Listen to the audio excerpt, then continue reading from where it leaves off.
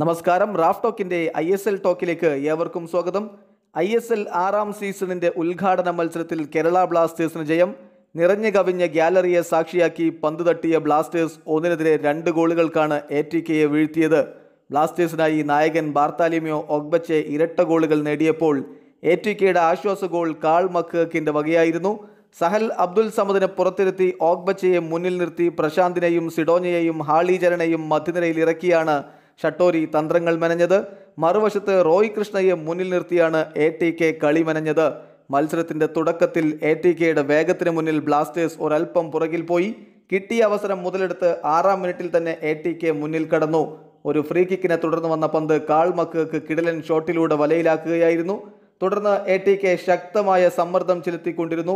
എന്നാൽ പതിയെ താളം കണ്ടെത്തിയ ബ്ലാസ്റ്റേഴ്സ് കളം പിടിച്ചു. മുപ്പതാം മിനിറ്റിൽ ലഭിച്ച പെനാൽറ്റി വലയിലേക്ക് എത്തിച്ച് ഓഗ്ബച്ചെ ടീമിന് സമനില നേടിക്കൊടുക്കുകയും ചെയ്തു.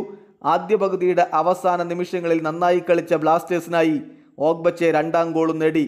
നാൽപ്പത്തിയഞ്ചാം മിനിറ്റിൽ സിഡോനിയയുടെ അസിസ്റ്റിൽ നിന്നാണ് ഈ ഗോൾ പിറന്നത്. രണ്ടാം പകുതിയിൽ സമനില പിടിക്കാനായി എ ടി കെ കിണഞ്ഞു ശ്രമിച്ചു. ഒപ്പം ലീഡ് വർദ്ധിപ്പിക്കാനായി ബ്ലാസ്റ്റേഴ്സും പരിശ്രമം തുടർന്നു. സിഡോക്ക് പകരം ആർക്യോസിനെയും ജീക്സണ് പകരം സഹലിനെയും കളത്തിലേക്കിറക്കിയ ഷട്ടോരി കളി ലൈവാക്കി നിർത്തി. ഒടുവിൽ രണ്ടേ ഒന്നിന്റെ വിജയവുമായി ബ്ലാസ്റ്റേഴ്സ് പുതിയ സീസണിന്റെ തുടക്കം ഗംഭീരമാക്കി. ഈ വീഡിയോ അവസാനിക്കുന്നു. ഫുട്ബോൾ ലോകത്ത് കൂടുതൽ വിശേഷങ്ങളുമായി റാഫ് ടോക്സ് വീണ്ടും എത്താം.